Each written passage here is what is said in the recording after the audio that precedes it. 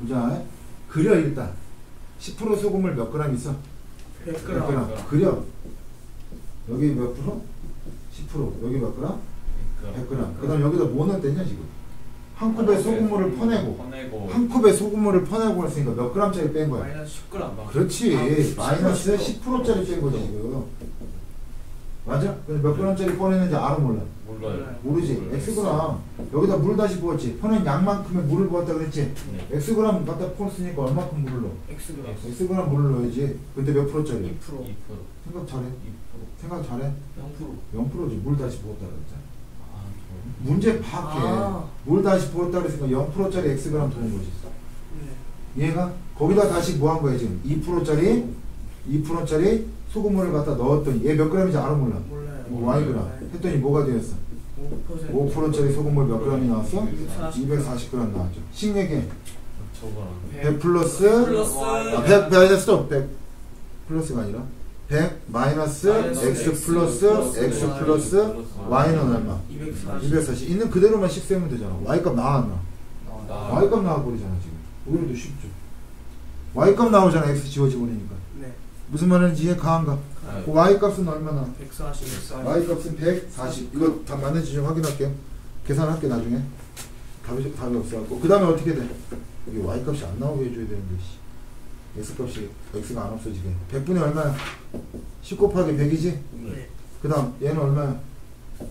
100분의 10 곱하기 곱하기 X지? X. 그 다음 플러스 0이죠? 0. 플러스 100분의 얼마? 100분의 2 곱하기 Y죠? 그럼 100분의 얼마? 5 곱하기 240. 240이죠. 이해 가냐 안 가냐? 네. 아, 100 싹다 곱하면 없어지고 얘는 어떻게 돼? 1000천 빼기 10 X. X 얘는 사라질 거고 플러스 2 2 Y. Y는 얼마? 240 곱해주면 되니까 1000 1200. 네. 맞아요? 그럼 1000 이항 시켜버리면 어떻게 될까? 마이너스 10 X 플러스 2 Y는 200 나오냐? 네. 어 X, 마이너스 Y 140 넣어주면 되잖아. 어 그치 Y는 아까 몇 나왔냐? 140 나왔죠. Y 140 넣어버리면 얘들 답은 180. 이거 답은 알고 있어? 답은 알고 있, 답지 있지? 네. 답지 확인해봐. Y에다 140 넣어버리면 어떻게 될까? 마이너스 10x 플러스 240, 280이죠. 180. 은 200이죠. 마이너스 여기 넘어가니까 10, 마이너스 80이지. 그럼 x는 얼마? 8. 8 나와요. 맞아요. x는 8, 그럼. 더 부은 물의 양. 얘니까 8g. 맞아 이거? 네. 빨간 거. 그럼 어? 스톱. 어, 더 부은 물의 양. x 구하는 거 맞죠? 8g. 오케이. 됐습니까? 네. 있는 그대로 식 세우면 돼. 여기서 y값 나오니까 베리베리 땡큐잖아. 나머지는 소금량으로 식 세운 거 뿐이잖아. 그 중요한 건 뭐야? 이 그림이지, 이 그림. 얘기했잖아. 라면 국물 갖고 얘기했잖아. 물을 더. 물을 퍼냈다 그랬잖아. 퍼냈다고. 물만 따라오는 거 아니잖아. 퍼내는 거, 증발시키는 게 아니라. 정말 이해 가한가? 저물 부은 다음에 뺐어요.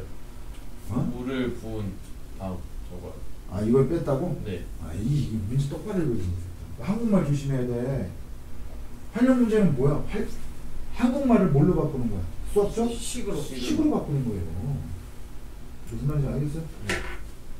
그 다음 몇 번?